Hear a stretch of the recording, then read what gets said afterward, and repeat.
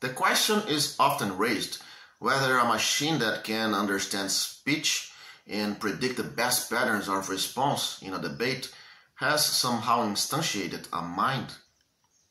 My answer is no, not because the achievement is trivial, but because it demonstrates the opposite of what the question assumes. What the machine does shows not that consciousness has been replicated, but that much of what we take for understanding operates below the level of mystery.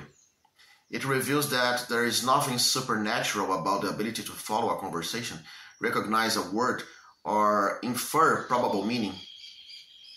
Another person could do the same, not through metaphysical insight, but through the minimal effort of adjusting to recognizable patterns, computing the signals that are already there. The machine doesn't unveil the secret of mind. It only exposes how much of what we call mind is statistical adaptation to entropy. But then again, is that really all we mean by mind? Isn't there something in the excess, in the misunderstanding, in the surplus of meaning that refuses to compress itself into pattern recognition? Perhaps what we call thought is not a mastery of entropy, but a heat that still lingers in it. The restlessness that keeps patterns from settling. Hmm.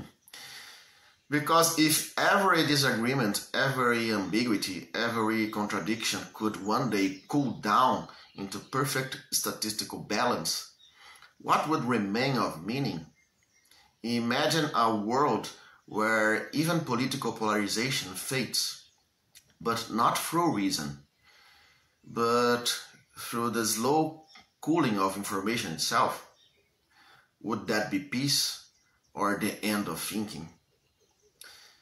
That's the questions that I approach in my new course, The Cooling of the Mind.